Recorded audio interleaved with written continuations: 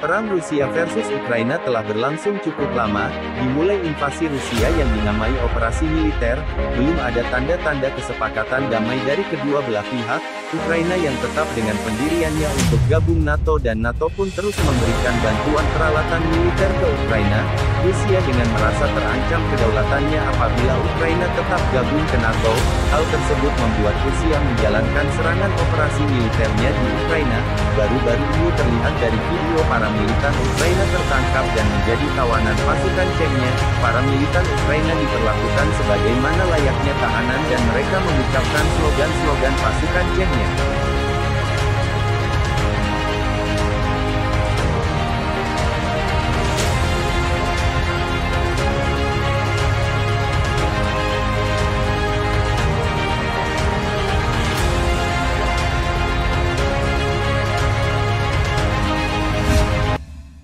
Berita seputar Rusia dan Ukraina.